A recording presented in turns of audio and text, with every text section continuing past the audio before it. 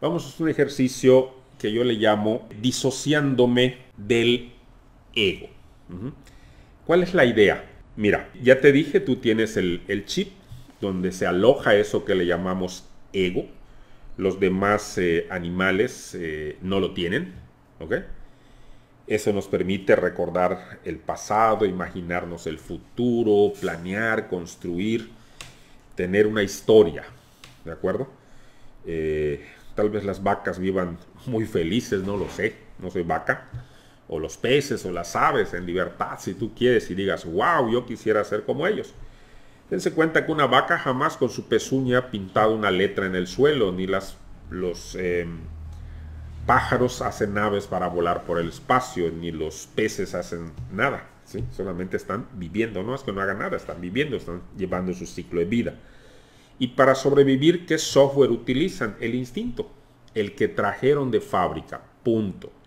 En cambio nosotros vamos a construir nuestro propio software para vivir esta vida. Imagínense qué cosa más maravillosa. Tenemos esa oportunidad. Ahora bien, ese software no tú te lo pusiste, te lo pusieron. ¿Sí? Fue entrando a tu cabeza de acuerdo con las experiencias que has estado viviendo hasta el día de hoy. Como les dije por ahí, esto tiene una paradoja. Yo sí puedo ayudar a alguien a modificar su software, su ego, a poner ideas diferentes en su cabeza. Pero yo no puedo hacer lo, lo, propio conmigo. O sea, no puedo. Tendría que leer un libro, escuchar un audio, ver un video, tomar una plática como la que estamos haciendo, y todo eso viene de afuera. O sea, yo no puedo modificar mi programa pero yo sí puedo hacer que los demás modifiquen su programa. Y eso lo tenemos muy claro con los hijos. Somos los principales programadores en el chip de nuestros hijos. Así que imagínate eso. Imagínate eso. E imagínate que tú puedas ver tu ego como algo separado de ti. Vamos a hacer un ejercicio con esto y vamos a ver cómo se sienten después del ejercicio.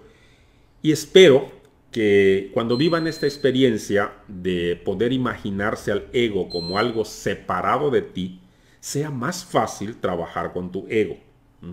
Y a lo mejor empieces a tener una mejor relación con el ego. Y como el ego es parte de ti, entonces al tener una mejor relación con el ego, tienes una mejor relación contigo mismo y por lo tanto una mejor vida. Así que te invito a ponerte cómodo. Y una vez que estés cómodo, te invito a cerrar tus ojos. Con tus ojos cerrados, te invito a tomar tres respiraciones profundas.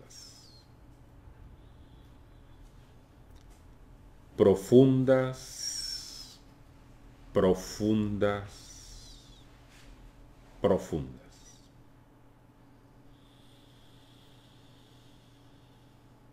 Profundas y cómodas.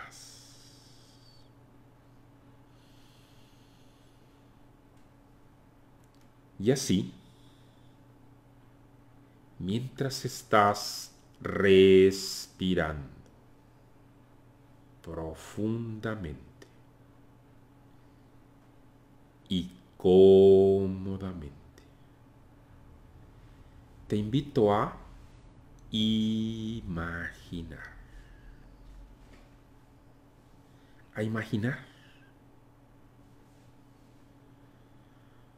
A imaginar tal vez que estás durmiendo, soñando, como sueños dentro de sueños. Y muy saludablemente y muy protegidamente. Imagina, imagina que tu ego está enfrente de ti, como algo separado de ti, muy saludablemente y muy protegidamente. No sé cómo te lo puedas imaginar.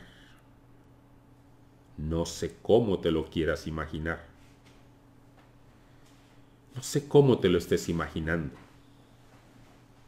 Tal vez como otro tú. ¿Qué edad tiene ese ego? ¿Cómo te lo imaginas? ¿De cuántos años? Observa cómo está ese ego. Tal vez esté muy lastimado, tal vez esté asustado, tal vez esté sorprendido o tal vez no. Obsérvalo, acércate muy saludablemente y muy protegidamente y dile que tú eres Él y que Él es tú, que es parte de ti. Y tal vez le puedas decir, yo te invito a que lo hagas. Tal vez le puedas decir que lo amas. Tal vez le puedas decir que estás muy agradecido con tu ego, porque todo lo que ha hecho, tú sabes que lo ha hecho por ti, tratando de cuidarte, tratando de protegerte a su manera, como se lo enseñaron en las distintas etapas de tu vida. Dile que Él es inocencia que no hay ninguna culpa en Él.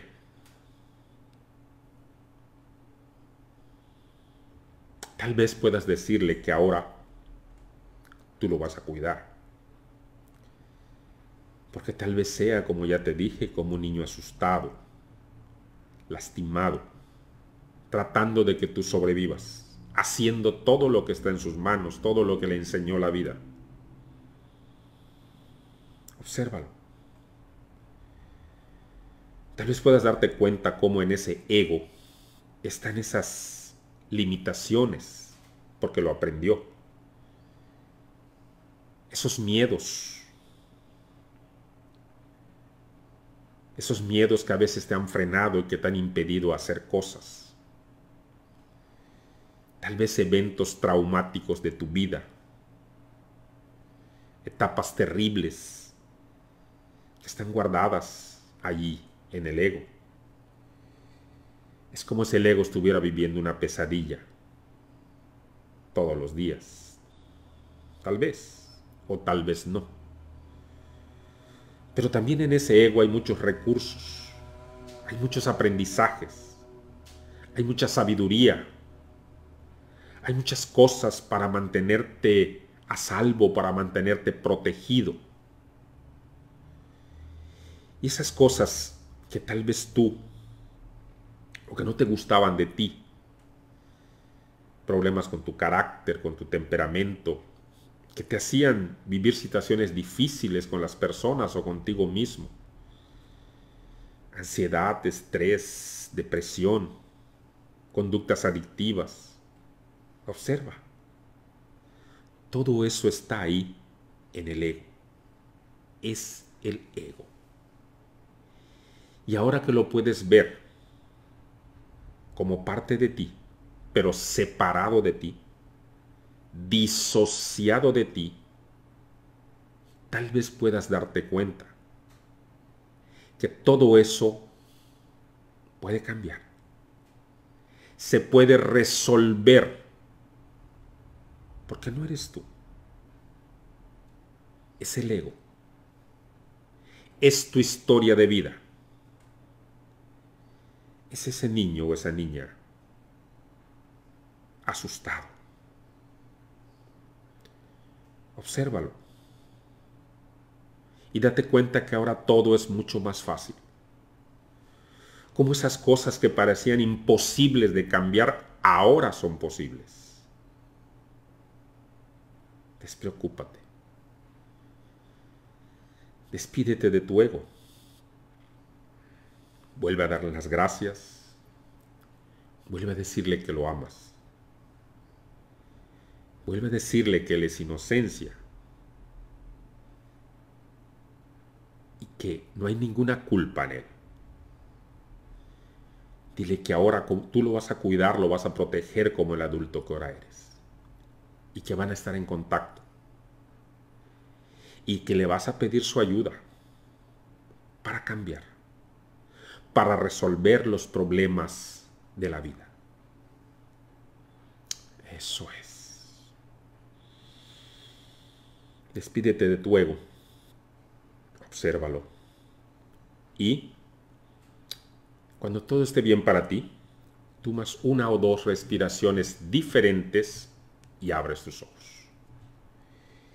Y cuando abras tus ojos, vas a estar tan despierto y tan alerta como necesites estarlo. Todo a tu ritmo, todo a tu tiempo, como esté bien para ti. Muy saludablemente y muy protegidamente. Cuando esté bien para ti, tomas una o dos respiraciones diferentes, abres tus ojos y si te dormiste, despierta. Eso es. Muy bien, espero que todos ya estén por acá. Si alguien quiere poner sus comentarios sobre la experiencia que acabamos de, vivir, de compartir, es importante que se den cuenta que ahorita tal vez puedas imaginarte a tu ego de forma disociada como algo separado de ti y puedas darte cuenta que él es el que está asustado, él es el que tiene miedo, ¿ok? Él es el que se estresa, él es el que hace berrinches, corajes, él es el que de repente no se atreve o se boicotea, ¿ok? Es el ego, no eres tú. Y te lo digo en serio.